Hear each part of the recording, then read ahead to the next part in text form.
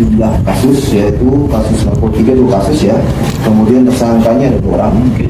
Ini kasus yang pertama kasus sabu dengan inisial NS kemudian yang kedua kasus ganja dengan inisial LAP nah NS ini dari desa Jurit.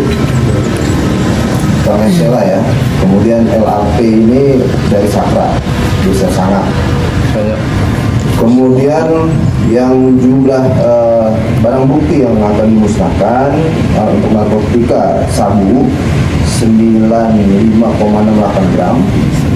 Eh, itu jumlahnya ya jumlah BB ulangi. jumlah BB ini jumlah barang bukti ini 95,68 gram. Yang akan dimusnahkan sabu 93,82 gram.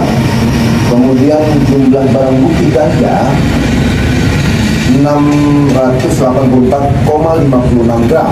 Yang akan dimusnahkan ganja 679,4 gram. Untuk keterangan kasus ini eh, sabu maupun ganja masih dalam sidik dan sudah dilakukan mendapat penangkapan dari kejaksaan ya